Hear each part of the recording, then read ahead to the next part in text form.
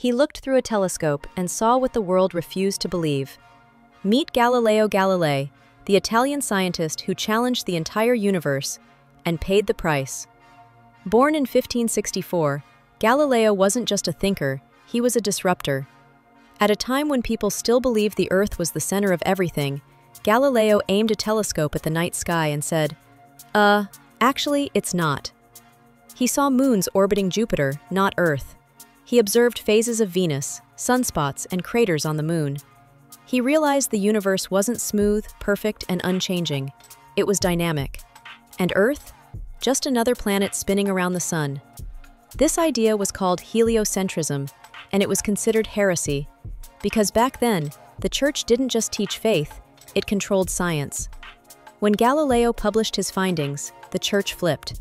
He was dragged before the Inquisition, forced to recant his work, and sentenced to house arrest for the rest of his life. But here's the twist his ideas survived. While Galileo was silenced, his science kept whispering through the centuries.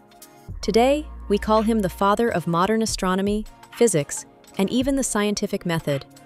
So next time you scroll through space photos or hear about a new exoplanet, remember, it all started with one man, a telescope, and the courage to say, maybe we've got it all wrong. Drop a Claire if you believe truth doesn't need permission, and tag someone who needs to know that science once shook the world, literally.